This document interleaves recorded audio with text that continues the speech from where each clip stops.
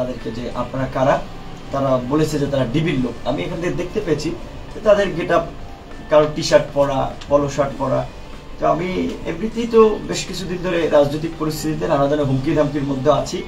সে কারণে আমি বলেছি, আপনাদের তো কারও কোনো ইউনিফর্ম নেই। তো আমি এখন ঢুকতে দিব না। আপনারা সকালবেলা আসেন। তারা অনেকক্ষণ কলিং বেল বাজিয়েছে। তখন আমি বলেছি যে, আমার বাসায় দুইটা, আমার ছোট বাচ্চা আছে। একজনের বয়স দুই মাস, আরেকজনের বয়স সাড়ে তিন মাস। আমার শ্বশুর শাশুড়ি আজকে হজে থেকে এসেছেন। সব মুরব্বীরা আছে, আপনারা কলিং বেলটা কেন এবার বাজাচ্ছেন? এটা কোনো ভদ্রলোকের কাজ না। তখন তারা বলছে যে, বাসা না খুললে আমরা ভেঙে ঢুকবো। ওকে আমার বাসা আমি ঢুকতে দিব না আপনাদেরকে এই রাতে। কোনো ধরনের অরেঞ্জ ছাড়া। তো আপনারা যদি ভেঙে ঢুকেন, তাহলে ঢুকেন, আমার কিছু করার নেই। আপনাদের যদি সেই পাওয়ার থেকে ঢুকেন, তো তারা তখন পাশের নিচে নেমেছে তাদের গাড়ি থেকে। কারণ এগুলো তো তাদের প্রস্তুতি থাকে যে ভাঙার জন্য বা কি পরিস্থিতি, কি দরকার। সেগুলো এনে তারা আমার দুটো দরজা, তিনটা দরজা প্রথমত দুইটা দরজা ভেঙে তারা আপনার এই রুমের মধ্যে ঢুকলো। আর একটা রুম যেটা আসলে ভিতর থেকে লক হয়ে গিয়েছে, সেই রুমও তারা ভেঙে ঢুকলো। তিনটা দরজা তারা ভেঙে ঢুকেছে এবং তার কিছুক্ষণ পরেই দেখি একজন খুব স্বাস্থ্যবান, হৃষ্টপুষ্ট একজন অফিসার আসলেন। তাদের কথায় তিনি এই অঞ্চলের ডিসি।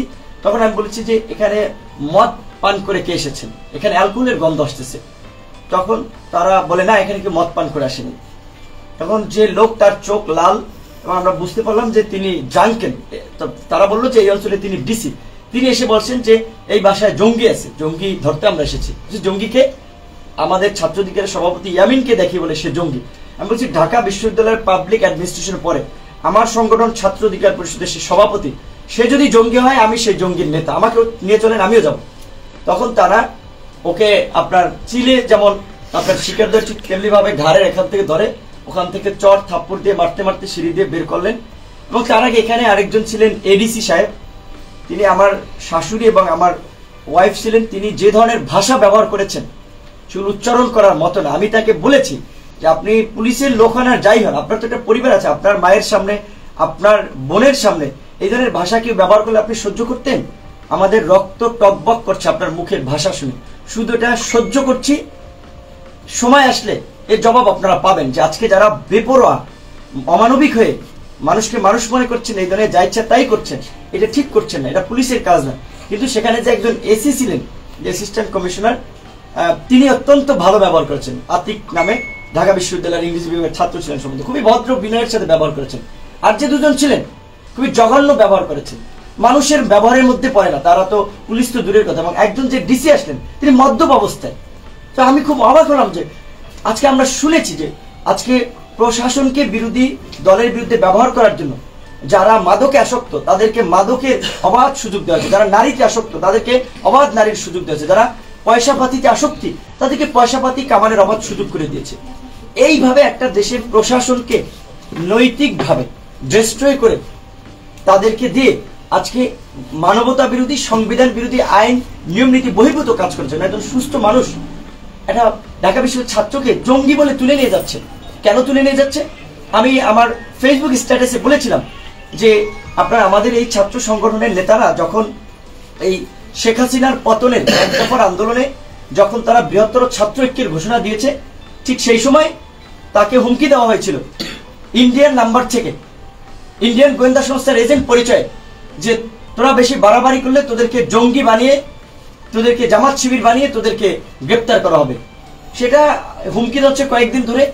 তারপরে এই যে বুয়েটের যে আপনার ছাব্বিশ শিক্ষার্থী সহ চৌত্রিশ জন শিক্ষার্থীকে গ্রেপ্তার করা হলো তার প্রতিবাদে আগামীকাল মানে এই বুধবার বিকাল চারটায় ঢাকা বিশ্ববিদ্যালয়ে ছাত্র অধিকার পরিষদের প্রোগ্রাম ছিল। সেই প্রোগ্রাম কেন ডিক্লেয়ার করেছে? সেই কারণে আজকে আমাদের বিনিয়ামিনকে গ্রেপ্তার করেছে। আমি বলেছিলাম যে আজকে আপনারা আহ, ওকে গ্রেপ্তার করতে এসেছেন এই প্রোগ্রামের জন্য। ও মামলার আসামি, ওর সমস্ত কর্মকাণ্ডের নির্দেশ যাতে আমি আমাকে গ্রেপ্তার করেন, আমি যাব। বলছে আমরা আপনাকে নেব না। আপনার আশপাশের ডালপালা ছেটে আপনাকে পঙ্গু করে দেব। তো তাদের এই পঙ্গু করার প্ল্যান বিরোধী দলকে যেভাবে পঙ্গু করছে, আপনি দেখছেন গয়েশ্বর চন্দ্র রায়কে মেরেছে, আমানুল্লাহ মানকে মেরেছে, আবার ওই ডিবি কার্যালয় নিয়ে খাওয়াচ্ছে। ঠিক এইভাবে তারা এই কাজটি করছে যে আজকে আমার আশেপাশের আমাদের নেতা কর্মীদেরকে তুলে নিয়ে যাচ্ছে গুম করছে তাদের বাবা মাকে ভয়ভীতি দেখাচ্ছে এবং আজকে দুজন আমাদের ঢাকা কলেজের ছাত্র অধিকার পরিষদের শিক্ষার্থী আমাদের ছাত্রলীগের প্রতিনিধি, সাধারণ যুগ্ম সাধারণ সম্পাদক নাজমুলকে আজকে যাত্রাবাড়ি থেকে তুলে নেওয়া হয়েছে।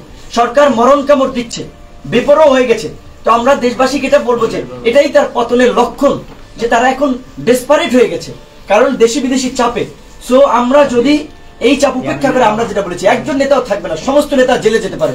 কিন্তু নেতার পরিবর্তে যে কর্মী এই আন্দোলনের নেতৃত্ব দেবে তাদের নেতৃত্বে আপনারা আন্দোলনে সুসংগঠিত থাকবেন। সময় আমাদের এই ছাত্র অধিকার পরিষদের সভাপতি বিনিয়ামিন মোল্লার বাবা অত্যন্ত সজ্জন ব্যক্তি ভদ্র মানুষ তাকেও সন্ধ্যার সময় ডিবি তুলে নিয়ে গেছে। এটা কেমন দেশ কেমন সমাজ কেমন রাষ্ট্র ব্যবস্থা যে একজন ছাত্র ঢাকা বিশ্ববিদ্যালয়ের ছাত্র সচেতনতার জায়গা থেকে তিনি রাজনীতি করছেন, তার বাবাকে তুলে নিচ্ছেন, তার গ্রামের বাড়িতে হামলা করছেন তার আশপাশের লোকজনকে তুলে নিয়ে যাচ্ছেন। এবং আমি আজকে এইটা বলতে চাই যে একটা বাসায় দরজা ভেঙে ঢোকা, এবং আমি লাইভ করেছিলাম যে কারা কারা এসেছে আপনারা দেখেন, কারণ তারা তো অস্বীকার যাবেন এবং কি ল্যাঙ্গুয়েজগুলো ব্যবহার করছে সেগুলো দেখেন। তারা আমার মোবাইলটি নিয়ে গেছে, আমার লাইভগুলো ডিলিট করে দিয়েছে, এইটা তারা পারে কিনা? এবং সবচেয়ে আরও জঘন্য ঘটনা আপনারা দেখছেন, যেভাবে তারা অপকর্মগুলো করে থাকে। বিরোধী দলের বিভিন্ন নেতাকে ফাঁসানোর জন্য কখনো অবৈধ অস্ত্র নিয়ে যান কখনো মাদক নিয়ে যান। কাজে সেখানে আমার বাসার যে সিসিটিভি ফুটেজ ছিল তাদের কি উদ্দেশ্য ছিল আমি জানি না আগে লাইভ করায়। হয়তো তারা ওই যে মোল্লাকে যেভাবে জঙ্গি বানিয়েছে হয়তো এখান থেকে বই টই উদ্ধার করে যেভাবে ভালো মানুষকে জামাত শিবির বানাই দেয় একটা উদ্ধার অভিযান চালিয়ে বলতো যে এটা এটা পাওয়া গেছে। সিসিটিভি ছিল সেখানে তারা পারে নাই। আপনারা সাংবাদিকরা চলে এসেছেন সেখানে তারা পারে নাই। এখন সিসিটিভির আপনার হার্ড ডিস্ক নিয়ে গেছে। অনেক জায়গার ক্যামেরা খুলে নিয়ে গেছে মোবাইল নিয়ে গেছে আমার এই হচ্ছে অবস্থা।